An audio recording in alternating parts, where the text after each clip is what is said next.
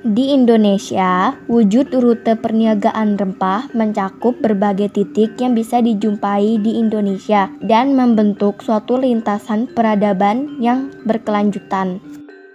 Tak hanya Indonesia Timur yang memiliki berbagai peninggalan yang berkaitan dengan jalur rempah, Jawa Tengah juga menyimpan beragam jejak perdagangan rempah yang mengundang para penikmat sejarah untuk menelusurinya. Salah satu tempat yang patut kita bahas adalah Kota Pati, mengingat perannya yang patut diperhitungkan dalam perdagangan rempah masa lalu, sebagai pintu masuk dari wilayah timur ke wilayah daratan pedalaman. Jejak-jejak peninggalan jalur rempah di Pati masih bisa kita rasakan hingga kini. Dalam berbagai bentuk mulai dari bangunan dan warisan berupa multikulturalisme bahkan kuliner dalam babat Sangkalaning Momana yang dikutip Raffles dalam History of Java di tahun 1511 sampai 1518 adalah masa kepangeranan Pati. Di masa akhir Majapahit ini, Pati adalah wilayah penting di bawah Majapahit. Peranan Pati sebagai pusat kegiatan ekonomi menjadi semakin penting, terutama di awal Kesultanan Demak Wilayah Pati di bawah Puspo Kusumo mengurus perniagaan dan penyangga pangan bagi Demak dan Jepara.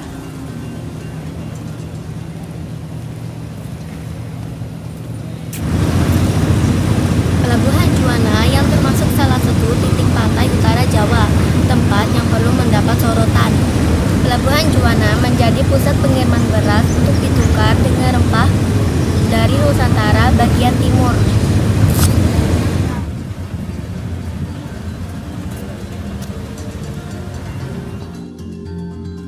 Jejak peninggalan jalur rempah di Pati masih bisa kita rasakan hingga kini dalam berbagai bentuk mulai dari bangunan dan warisan berupa multikulturalisme bahkan kuliner.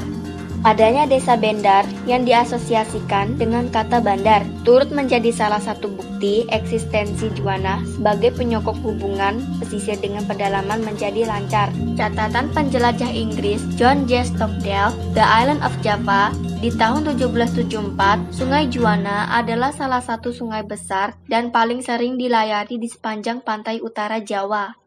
Dengan muara dan jalur yang bagus untuk sampai di Karesidenan, dengan kedalaman 20 kaki lebih dan lebarnya sekitar 200 kaki. Sungai ini bersama sungai lain adalah jalur menuju Semarang. Dari situ, sungai akan mengalir lebih jauh lagi ke pedalaman. Dalam Chinese Epigraphic Materials in Indonesia Volume 2 menyebutkan Juwana telah menjadi pelabuhan ramai pada abad 17 karena adanya perdagangan beras, kayu, dan gula ke Batavia dan di abad 18 Juwana, Rembang, Lasem menjadi pusat pembuatan kapal-kapal kayu di Hindia Belanda. Dari Juwana inilah rantai ekonomi masyarakat Pati berkembang dan meninggalkan berbagai budaya, seperti kelenteng, bangunan eks-kolonial, dan kuliner endas manyung yang kaya akan rempah. Di ranah sandang, kita temukan batik bakaran yang masih menyuguhkan berbagai corak atau motif peninggalan kerajaan Majapahit.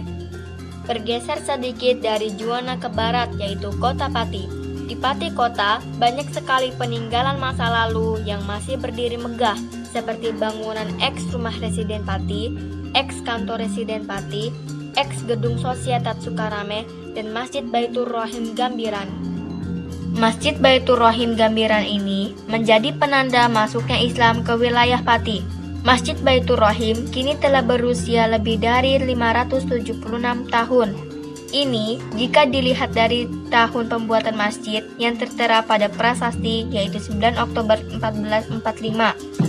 Jejak-jejak peninggalan jalur rempah di Pati juga masih bisa kita rasakan melalui kuliner kaya rempah khas Pati seperti nasi gandul dan soto kemiri. Sama seperti lindas manyung, juana, merica dan ketumbar menemani bumbu lain dalam nasi gandul dan soto kemiri. Pati kaya akan peninggalan jalur rempah dan perlu dilestarikan. Pelestarian ini sebagai upaya untuk mempertahankan budaya dan nilainya dengan cara melindungi, mengembangkan, dan memanfaatkannya untuk kesejahteraan masyarakat.